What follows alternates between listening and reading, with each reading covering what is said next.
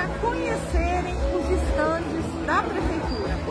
A Prefeitura tem aqui, terá aqui na FEMEC, agroindústrias locais em parceria com a Emater, startups locais voltadas para o agro, empresas com produtos e serviços interessantíssimos, além do campo demonstrativo, em que será possível observar os efeitos que o pó de basalto pode ter como remineralizador de solo. Este ano agora, onde é que tem o basalto, uma pequena parcela jogada, ela permaneceu com seis sacos a mais por hectare.